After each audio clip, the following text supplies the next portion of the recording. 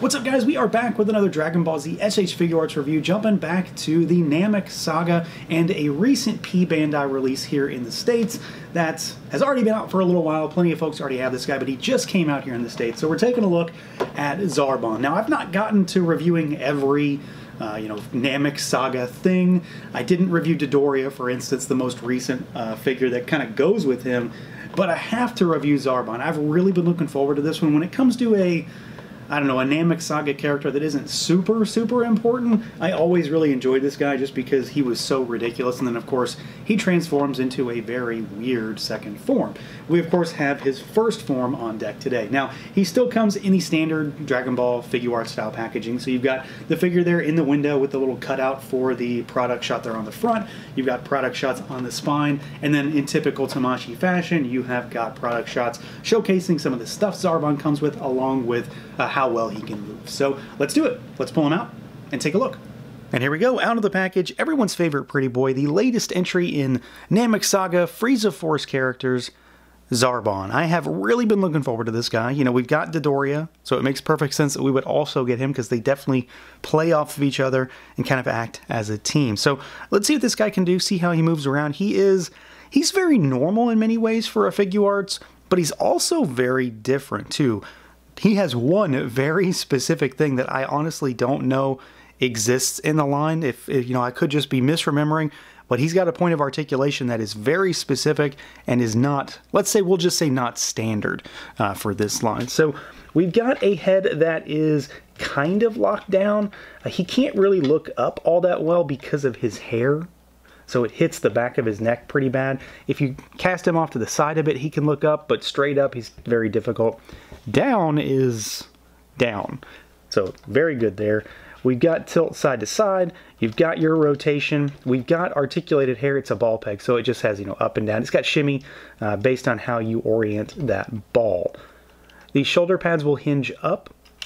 Arms go out all the way up. They do rotate all the way around, and we do have a butterfly joint. And it's a super crazy butterfly joint. I mean, it comes all the way out. It does really jack around with the shoulder pads though when you fully extend it. And the arm will go all the way around, but of course you've got to watch your pads. It's a it's a full ball peg in there. So it does have a little bit of drop down capability also. It's it's minor, but but it's there. We've got bicep swivel, We've got double jointed elbows that go about that far. You've got hinges and rotation at the wrist. It's a it's a ball hinge, of course, so typical stuff there. For the torso, he can go backwards slightly. Not a whole lot, but a little bit. Forwards, though, really, really well. You've got some tilt.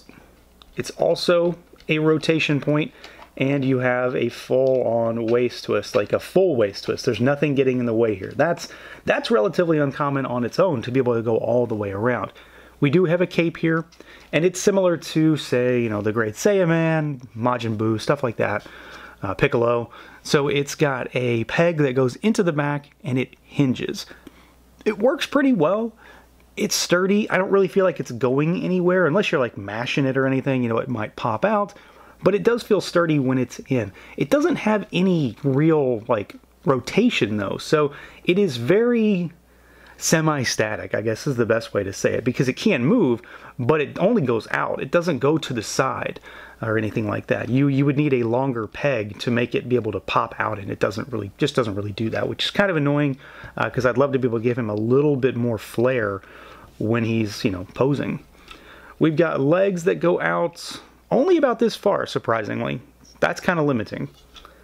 They kick forward all the way. They kick backwards all the way as well. And here's where things get pretty crazy because, I mean, this is a normal thing to see in many lines, but it's not common to see in this line.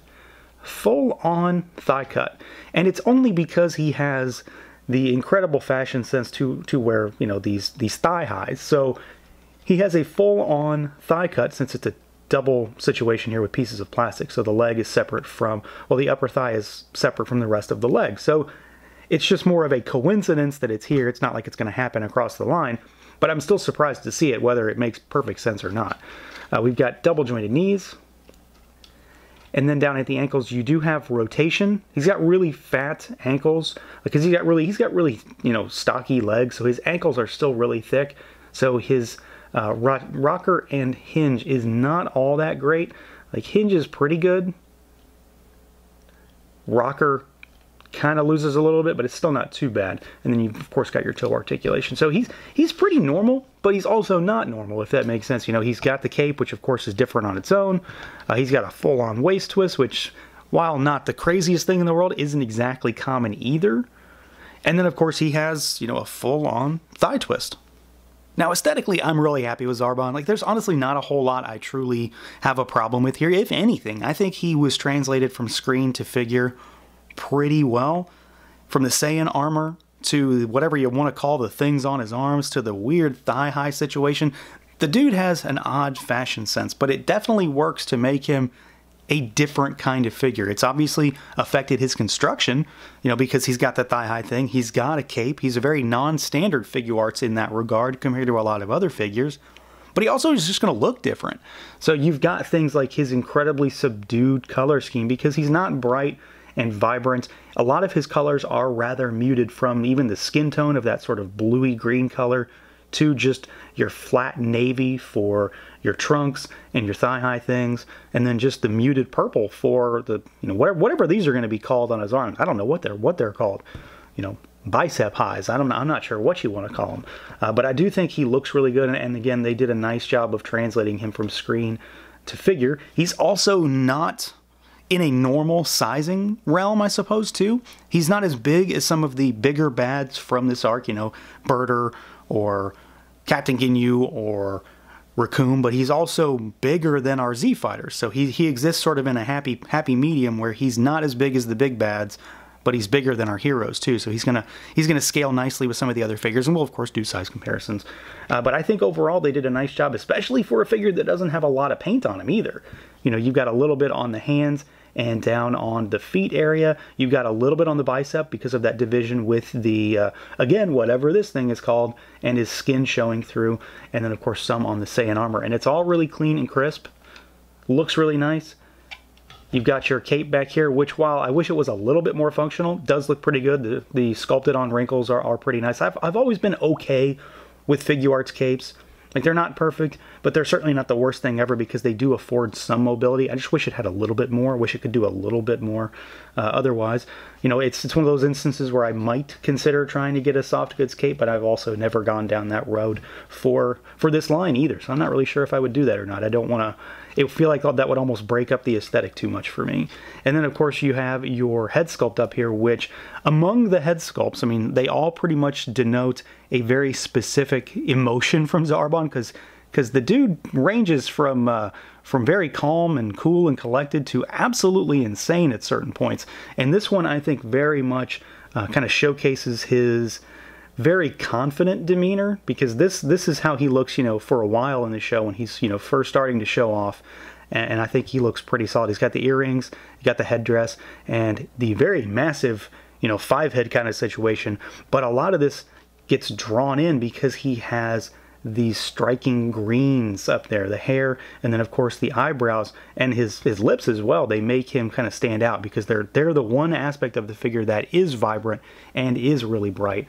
And I think the hair looks good, sculpted nicely, and the braid on the back with the little band it does look nice as well. And it's sculpted in such a way uh, that it will flow over his back, so it's not like jutting out or kind of you know getting in the way. You can sort of move it around, and it does fit correctly over top of his shoulders uh, and his and his Saiyan armor. So I'm really happy with the with the head sculpt and the faces in particular. I really do think it kind of exudes his personality, especially with this one we get right out of the box. Now, as far as some size comparisons go, uh, here is our Saiyan Raised on Earth Goku for a normal size Figuarts, and you can see that Zarbon is he's about a head taller when you sort of factor in or out, I suppose, the hair situation that Goku has, and then of course We've got his counterpart Dodoria here on the right, and you can get an idea of how these two are going to look like next to each other because they're relatively similar in height, but they couldn't be further apart in just about every other detail, really. I mean, look, they're they're entirely different kinds of figures. Dodoria is very much an oddball when it comes to this line in general.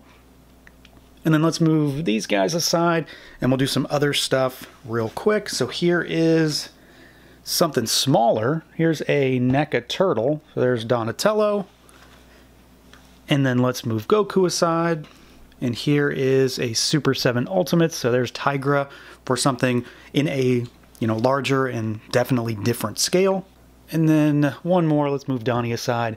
And here is a Black Series figure. So here is the Marshal himself, Cobb Vanth. You can get an idea of how he looks like, you know, alongside some other lines, some stuff that isn't necessarily the same scale. Figuarts tends to, of course, run a little small compared to quote unquote normal 112 stuff, but he's going to fit in pretty decently among some other lines, especially in the 112 range.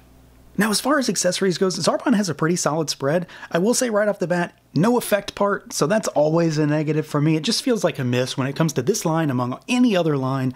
Effects should be standard. But I digress. We do get uh, some extra hands to start with because the faceplates on this guy are where it's really all at. Uh, so we get extra hands to begin with. Fists on him in the box. We get a set, of course a set is two, of the sort of flat, you know, thumb in front of the palm kind of hand we get a set of relaxed gripping hands. This is for his Namekian Dragon Ball.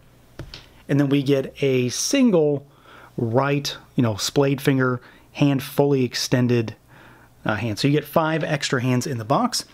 We get ways to change up his appearance. So you can see here, this is the standard face that he came with in the box. He has a scouter now, and this is achieved by removable left ears on every faceplate, so you can swap it out and you pop that scouter in, and then he's got new hair to accommodate it. So it's the same idea in general, but the bangs on the left are slightly moved aside just to accommodate that scouter, and then we've also got a different braid here. So this is the first one, and it just goes down his back. This new one swoops around and over his chest, which I really like. I think it's a little bit more dynamic, just a little bit more eye-catching as well. Definitely my preferred configuration. Then we get a few extra faces, and again, these all have removable left ears. So you get a sort of stoic standard head sculpt. We get a sort of screaming, angry, you know, flustered almost, definitely mad kind of head sculpt. And then we get a full on screaming and very much worked up expression, mouth fully open, tongue, teeth, the whole nine yards, everything in there. Uh, so he has four total portraits that you can use. And then, of course, you got that smattering of hands. And you can change up as far as how the hair goes and the scouter. And then lastly, he does come with a Namekian Dragon Ball. So he comes with the big old two star Dragon Ball. So while he doesn't have an effect part, which is always a bummer for me, I do think he has a lot of good stuff here and plenty of options when it comes to changing up his expression and overall appearance. So yeah, overall, outside of a couple small things, very, very happy with Zarbon. My, my major gripe really is that the cape is a little bit restrictive, and it's it's always going to be when it comes down to capes like this. You know, the same happens with Majin Buu or with uh, Saiyaman. They're okay, and they work well enough in the way that they're intended to work, but I always wish they could do a little bit more. And Zarbon's in particular, it doesn't really do that much. It just hinges outward. I wish it could go to the side a little bit more, or just do anything to make it looks like it's a little bit, you know, blowing to the side. Beyond that, though, I think he looks great. He moves well otherwise. I love the fact that they just went ahead and did a full-on thigh swivel. And then ultimately, the one other thing is that I wish, just like every other figure, he had an effect part. A Dragon Ball doesn't count for me. I want him to have an actual energy effect. It's such an integral part to way these characters interact with each other. It feels like a miss whenever one's not present. So that's going to do it for this look at the Dragon Ball Z SH Figuarts Zarbon. Let me know what you guys think. Feel free to like, comment, subscribe, and share, and until next time.